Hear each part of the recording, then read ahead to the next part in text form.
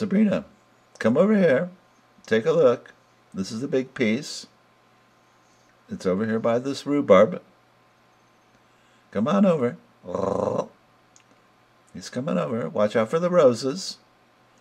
We've got rose stems. They're very thorny and they catch your thick Maine Coon cat pelt. So I hope you don't get stuck. But anyway, come over and take a close look. This is one of Sabrina's favorite paintings from last summer. It's the day Jim's Landing burned. And what a horrible day it was. It was last summer, the summer of 2019.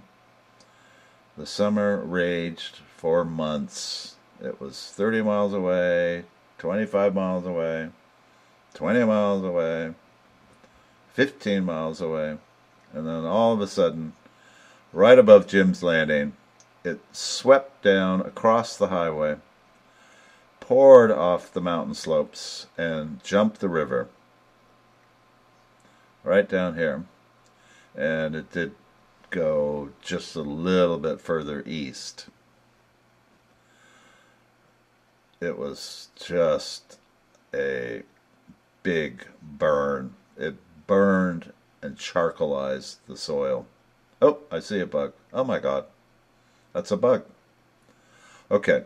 Uh, yeah, the soil just, it had been, it's always very peaty, spongy, moisty. It stays damp all year round, but it got so dry that when the forest lit, it basically burned right into the soil and charcoalized the soil. Never seen that before it's a real sign that the environmental stress is reaching a new level and that climate change is creating these difficult conditions for the northern taiga forest. Oh my god, there's a little bubbly, oh boy, there's a pocket.